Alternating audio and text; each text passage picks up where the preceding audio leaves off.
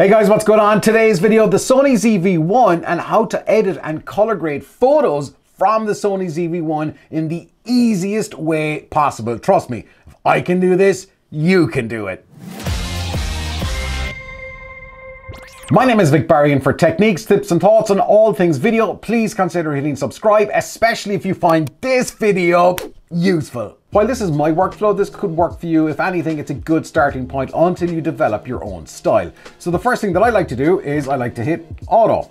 Basically, I'm hitting auto because it gives Lightroom an idea of what's going on in the picture and it has a best guess at how to make the picture look good. So, because this was shot raw, and that's hugely important, these are all going to be raw photos that you shoot with the Sony ZV-1. We can see that we've gone from a pretty dark picture to something now that we've got all the shadow detail back and there's no, nothing is lost because if this was a JPEG, it would be gone. It's, it's either like all dark or all bright or it's just no. So when you shoot raw, you can bring back highlights, you can bring back shadows, and basically raw photos takes the most out of the camera. It gives the optimum sensor quality. It gives zero compression, zero color artifacts. Look, just shoot raw okay? Don't be afraid of it, shoot raw. You will get better pictures. So next step that I like to do is I take a look at the actual color profile. So I'm gonna select browse. I'm gonna go with Modern and I'm gonna take a look at either maybe Modern 4 or Modern 6. Now, this isn't the be all to end all, this is a starting block for you to start and then we work from there. So I'm gonna go with Modern 6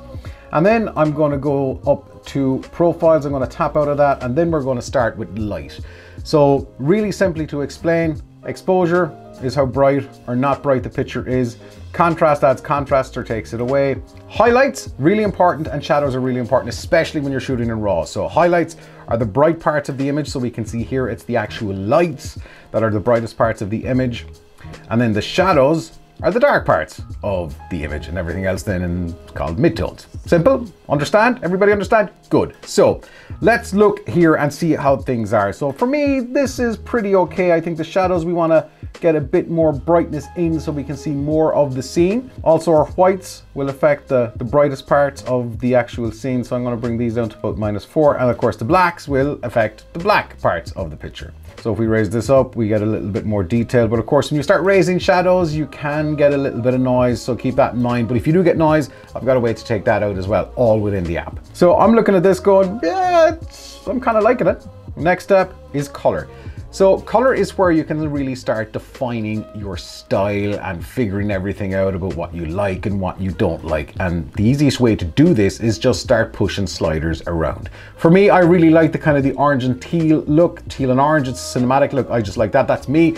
And in this photo, we're gonna do it that way, but the idea what I'm doing is the exact same no matter what look you like. The temperature here, this is how warm or cold the picture is. This was shot at night, so generally the rule of thumb was it's probably gonna be cold, it's December. So I'm gonna leave that there about 2500.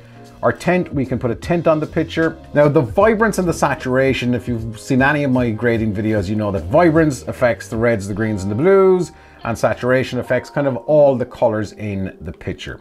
So I'm leaving these as is for now, but where the real magic happens, especially in Lightroom, is in color mix. So this is where you can select a color like blue and we can make it teal or not. It's awful. So subtle. Here's the tip. Subtle changes, small changes make the biggest impact. So that's our hue. So we're shifting the blues a little bit there. The saturation, of course, this is how colorful it is.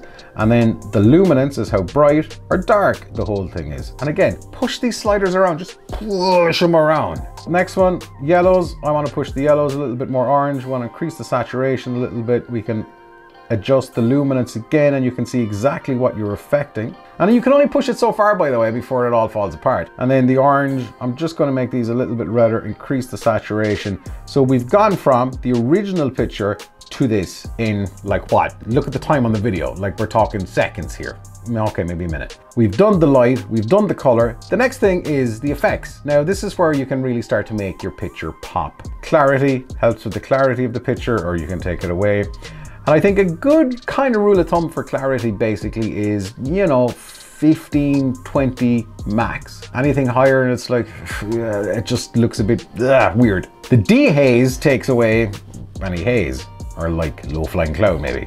So you can really push this, but again, subtle, small changes And then the vignette adds a vignette if you want, but don't add a vignette. Do not, whatever you do, do not use the vignette in Lightroom. I've got an amazing tip that will take your vignettes to a whole new level, and that's coming up momentarily. And a vignette will help the viewer's eye into where you want it to focus on and make the picture really pop. Texture, if we want, we can add a bit more texture, but I think the picture is kind of pretty decent as it is. We can add grain if we want. Now on the detail, this is where you can add some noise reduction. This is where you can reduce some of the noise in the picture. It's not going to fix everything, but generally if you've got a little bit of noise, bring it up 18, 20, and you've color noise reduction as well, because around the colors you can get all different types of noise, especially when you're kind of pushing shadows and exposure a little bit. So you can apply that or not and see how it works out. And that's all it is, seeing how things work out.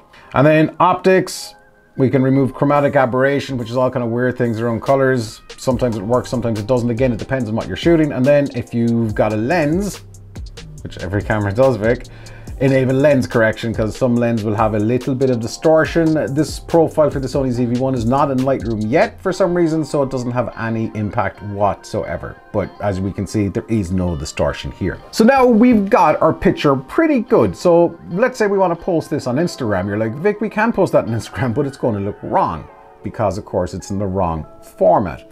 So Instagram pictures are really 5 by 4 or 4 by 5 but to get the most out of Instagram posts, it's really, you really gotta have it vertical because it's taking up most of somebody's phone, or screen. So what we need to do is go to the crop, and then we gotta go to aspect and the Instagram ratio 5 by 4 and we're going, okay, that's gonna fill the Instagram feed. But what if we wanna rotate it to fill it even more?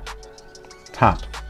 So now we're working with less of the picture, it's zoomed in, it's cropped in, but we can work within this and make things really epic. And I've got the pop tip coming as well, by the way. So we can move this around here. So composition, if you're into the whole rule of thirds thing, and every rule is made to be broken, with the lines are, something needs to be happening where the lines are predominantly intersecting. That's where the drawing eye. Tree is just off center, and then we've got a light. So there's kind of, it's broken up into tree, and there's a little bit of a triangle going on.